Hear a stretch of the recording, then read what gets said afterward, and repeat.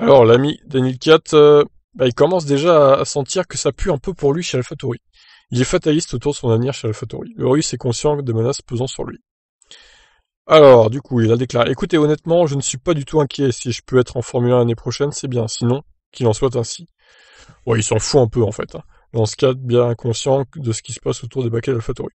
Tout est encore ouvert dans ces saisons folles, vous savez, tout peut arriver. Vous devez continuer à vous battre jusqu'à la fin, tentez votre chance. Je fais de mon mieux et je le ferai encore dans ces cinq courses restantes. Et puis quoi qu'il arrive, je prendrai des décisions en fonction de ce qui arrivera à la fin de l'année. Alex Albon pourrait aussi faire les frais de ses mouvements au sein de la Red Bull et AlphaTauri puisqu'il pourrait être remplacé par Perez dans l'équipe première et ne pas être repêché dans la structure italienne. Eh oui, de toute façon, euh, Kiat, euh, ça fait quelques années déjà qu'il fait le bouche-trou hein, pour Red Bull et AlphaTauri, donc euh, ça m'étonnerait pas qu'il soit dégagé définitivement cette fois. Il n'y a plus de place pour lui et puis même ses performances sont pas sont pas terribles face à Gasly, donc euh, ça serait pas injustifié qu'il soit viré pour le coup.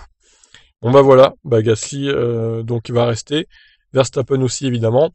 Quant à Albon et euh, Kiat, ça pue pour eux. Je vous laisse réagir. Ciao.